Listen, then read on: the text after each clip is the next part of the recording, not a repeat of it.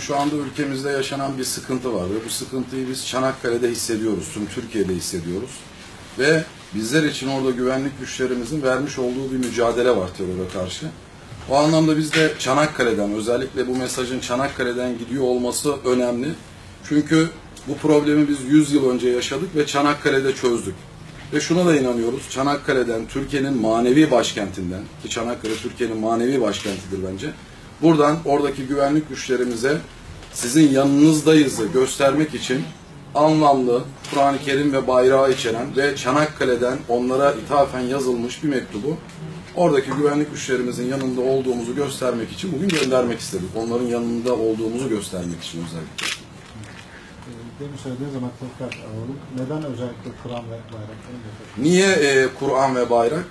Bakın bizler e, bu hayatta iki şey için yaşıyoruz. Birincisi inancımız İslam ki bunun simgesi Kur'an-ı Kerim'dir.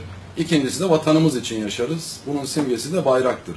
Ve şu anda orada çarpışan güvenlik güçlerimizin de bu iki değer için uğraş verdiğini biliyoruz. Hem inancımız hem de vatanımız için, vatanımızın selamete ermesi için. Onun için bu iki anlamlı hediyeyi göndermek istedik onlara Çanakkale'den, bu kutsal topraklardan.